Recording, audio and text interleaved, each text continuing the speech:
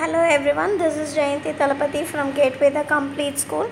So today I'm going to explain you how potassium permanganate used as a uh, oxidizing agent when you react, I mean when you add it with glycerin.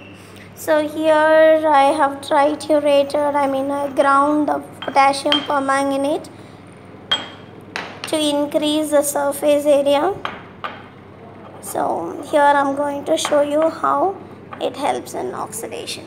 So now this is powdered potassium uh, permanganate. So now I'm going to add glycerin. So glycerin is uh, otherwise called glycerol actually the common name. So glycerol is an alcohol actually. So when alcohol when combustion reaction takes place yeah here you can see the flame right? Yes. So glycerol burns because uh, the potassium permanganate is oxidizing agent. So combustion takes place over here. So now carbon dioxide evolves. Yeah. Thank you so much